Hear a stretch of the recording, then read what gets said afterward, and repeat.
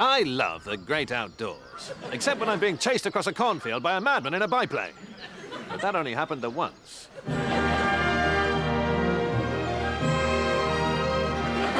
And what better way to enjoy Mother Nature's bounty than camping? It may seem like there's lots of equipment, but I find setting it up is no trouble at all, because I get Audrey to do it. Good work, child. Now, I'll put the Primus stove on, shall I, and make you a nice mug of Bovril. I can't do this, darling. Nonsense. Have you seen my tent pegs?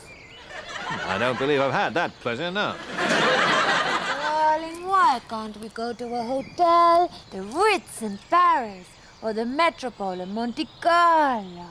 Honestly, darling, what would you prefer, hmm? To stay in a five-star hotel, or to sleep under a million stars in the night sky? The hotel, please. Yes, you're right. Let's go find a cab. Go on.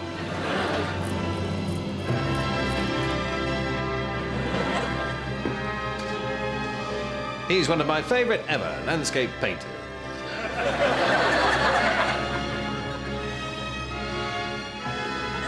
Lovely evening.